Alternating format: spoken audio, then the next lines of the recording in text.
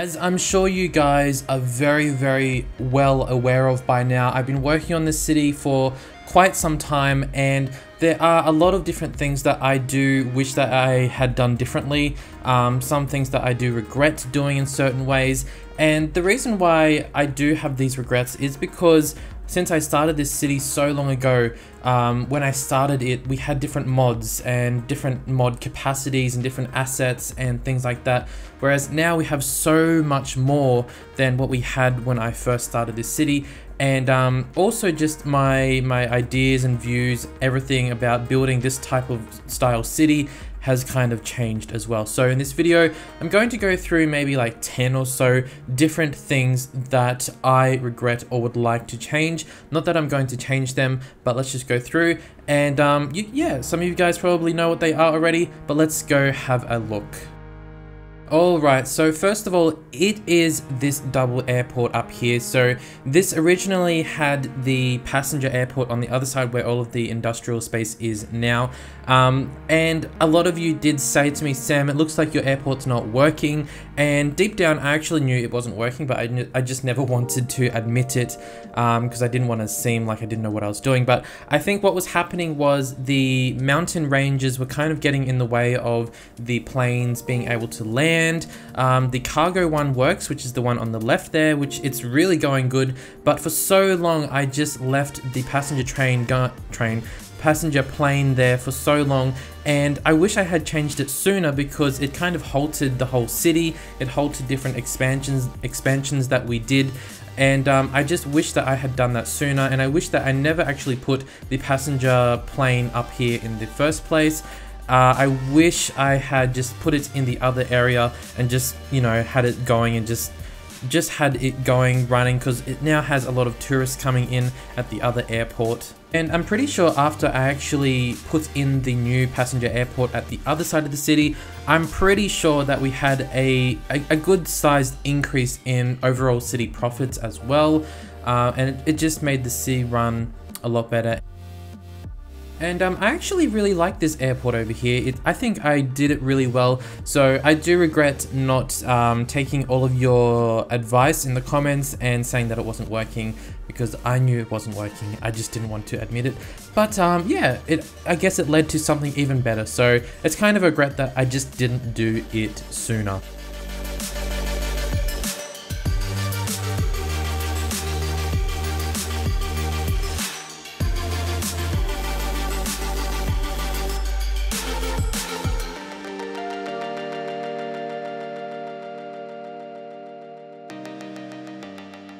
Okay, so another huge regret that I've had I've had the whole entire time is the actual um, the terrain that I'm using. So the colors of it, um, the, basically the theme. So this theme comes from the Aurora Borealis map, which was actually my first city, which was St. Petersburg. And so I've basically been using this same theme for the whole time. But unfortunately, what I don't like about it is the mountain colors. So if you look up the back behind this little town here, you can see the mountains where it goes into a bit of a cliff and the ground becomes a bit grayish, a bit brownish, a bit rocky. And if I actually zoom in on it, you can see that it's kind of a very, very low definition. It's definitely not like HD.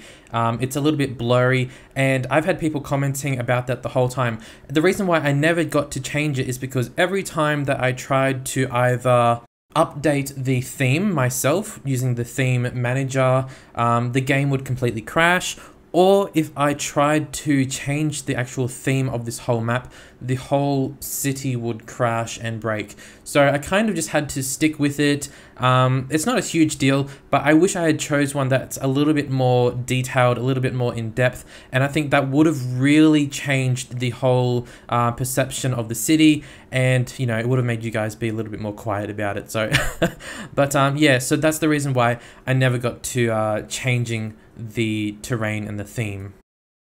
Okay, so next I want to look at it from this perspective, and the thing that has bothered me the whole time is the fact that the the rivers going through the, this whole city make it kind of look like the city is quite disconnected. So it kind of makes it look like there's different little towns and they all kind of just mush together, which isn't really what I wanted. So I wanted it all to look like it's one big city that's connected.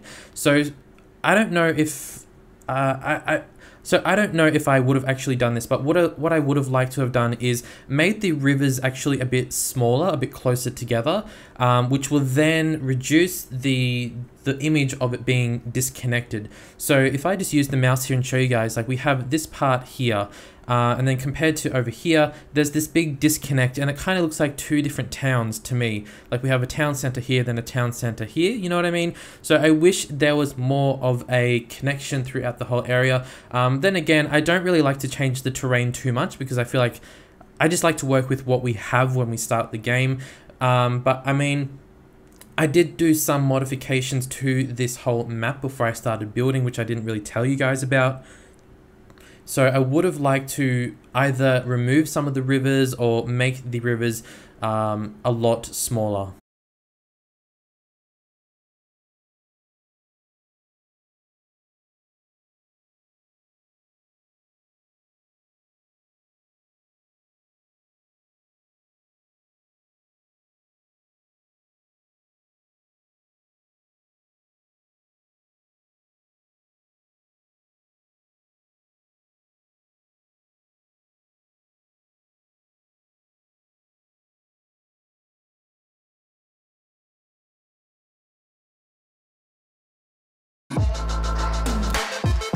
Another regret, and while we are on the topic of the water, I actually completely messed up the, the water levels in the city. So what happened was, if I show you guys, the water level, it's down, it's quite low when you look at it from this perspective. So originally the water level would have been about here, if we look over there. Um, so it's gone down quite a huge amount and as a result we have these huge big um, seawalls which I think is quite ugly and um, it, it just yeah it just does not look good at all because I don't like to have a huge big cliff and then the water is all the way down there. And you're probably saying well Sam why didn't you just um, you know put the water level back up? And that's because I started building in other areas at a new sea level. So I started building them at this level down here. And um, as a result I can't actually move this water level back up because then we will completely flood the new areas. So if we have a look over here, you can see the water levels are actually very, very close to um, the shoreline. And I, I, would, I did that on purpose, but the thing is, if I increase the water levels by the tiniest amount, this whole area floods. So unfortunately, I just had to leave everything how it is. Um, and we just kind of have to live with having those huge big ugly rock walls um, huge big random terrain areas. Yeah we just have to deal with it but it is a huge regret that I've had. I wish I had checked the whole city first before building these new areas because now it just seems a little bit just a little bit off. It just doesn't seem right. So but that's alright no problem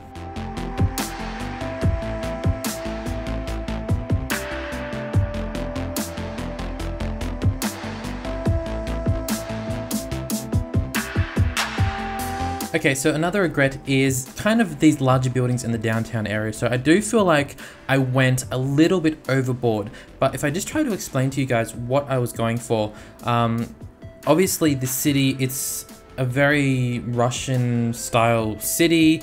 Um, and a lot of those buildings, they are kind of, you know, like 10 levels or something like that. And they look a little bit older. So what I wanted to do was completely make a new, really, really fancy high-tech downtown area, luxurious areas and things like that. And the buildings that I chose were a little bit too big um, definitely for the size of the city. So if the city was maybe three times as big with a lot of urban sprawl, I think these buildings would have definitely fitted in very, very well with the overall image because there's a lot of build up, a lot of suburban sprawl that builds up towards these huge buildings. But since the city just isn't that big, we are constrained by a lot of the mountain areas as well. So we couldn't really do a lot of urban sprawl.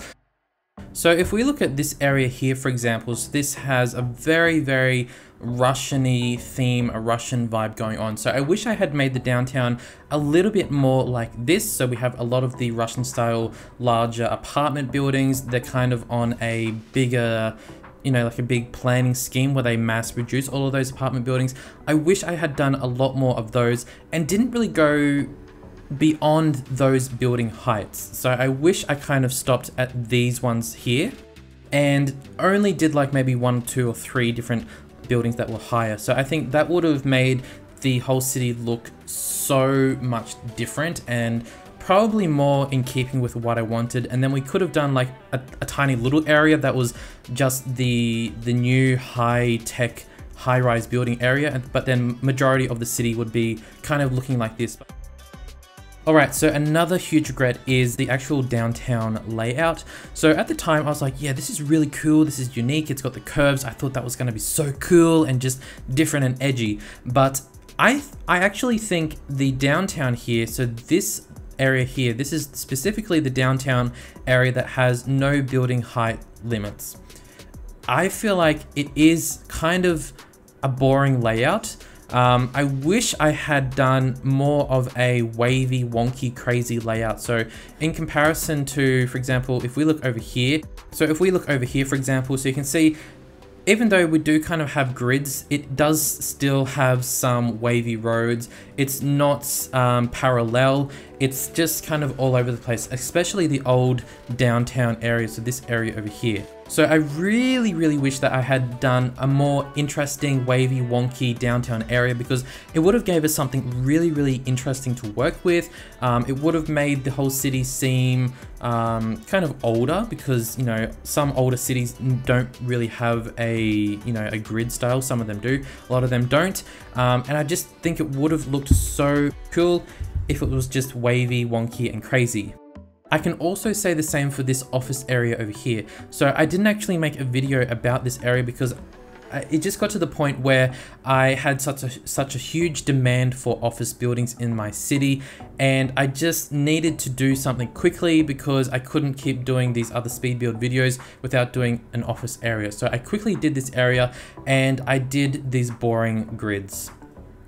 And I just filled it in with the vanilla um, office buildings and it, it was just really, really boring. A lot of you guys called me out on it and like, Sam, what is that rubbish over there in the background? Get rid of that. So that's why some of those videos that I did were actually completely redoing the office area, trying to make it a little bit more friendly, a less, you know, vanilla, less generic and things like that. But I wish Again, like the downtown, I wish I had done a more wavy, wonky, crazy layout instead of just doing grids and straight roads and things like that, because that's boring.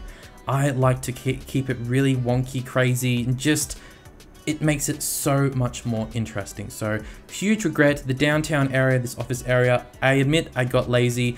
I wish I had done it differently, but hey, that's how it is. We're stuck with it and um, let's move on. Alright you guys, the last thing that I regret at first when I put these huge roads down, everyone was like, Sam, why? What are you doing? No, this is not good. They're too big, they're crazy, they just don't look right. But I was like, you know what? I'm trying to do like a Russian style city and a lot of Russian cities have these huge big boulevards with all of these lanes, like six lanes, seven lanes on either side. And that's what I wanted to do throughout this whole city. And as time went past, I was like, hang on a second. No one is actually using our roads. so here we are, city is done. Um, and there's hardly anyone using these larger roads, unfortunately. And I think that comes down to because I have so much public transport in my city, I also have so many pedestrian pathways everywhere. And I mean, I don't want to seem like I'm bragging, but I, I, I did a pretty good job on the public transport because it, it reflects in how much traffic we have and there's really no traffic at all. So I do regret putting in these huge roads. I wish I had put in actually quite smaller roads because it um, would have made the city seem more, um, you know, tighter, closer together, all the buildings. These big roads, they do create big gaps in the city, and since there's no traffic on them, they seem a little bit out of place. But if these roads had a lot of traffic, I would love them. They would you know, fit in very, very well. But since there's no traffic, it does seem really weird and odd to put them in. So I definitely do regret putting in these huge big boulevards. But as you guys are aware, I did try to downgrade a lot of those larger roads. So um, only a couple of these big boulevard roads still remain. So for example, this, this area right here um, was originally a huge big boulevard. So it went from this side here all the way to this side over here. So completely downgraded that to only um, well, I guess it has two lanes on either side and a tram up the middle. And as a result, there's really not much traffic in this area at all. So um, it also allowed for uh, space to build new shops and apartments, some green space as well. So I did try to get rid of those larger roads, um, but I mean, they still kind of live on in certain areas. So another example would be this one over here. So again, this larger road did continue straight on, but you can see I've downgraded that to, I believe it has it has one lane on either side, the tram in the middle, and then it actually allowed us to put in a lot of parking lots, and um, we could uh, we actually upgraded a lot of the areas, a lot of the buildings, made it more pedestrian friendly, and it looks so much better. It looks really really cool. But like I said, some of those larger boulevards do still live on. Um, I thought I thought I better not get rid of all of the boulevards because it kind of uh, shows like an older side of the city. So something from the past that kind of still lives on, but it just isn't really much of it. I don't know what the word is for that, but yeah, I didn't want to get rid of them all because it's just like a memory thing. So, but I definitely do regret those, but you know what? It was kind of fun upgrading those and completely redoing the areas, doing the roads and just making it really different. And alright, here we are in central Samivostok, which is something that you guys don't really get to see very often is a lot of these more inner areas. Um, but anyway, I thought this was a good place to end the video. There's definitely still other regrets that I have for this city, but um, the ones that I mentioned today were all of the main big regrets that um, some of you have picked up throughout the whole time I built this city. So that's the end of this video. Next one is probably going to be the complete big city tour wrap up video. But if there is anything else you guys would like to see, quickly let me know because I'm just about to film um, the wrap up video. After that, Samivostok is completely done and we shall move on. Bye guys!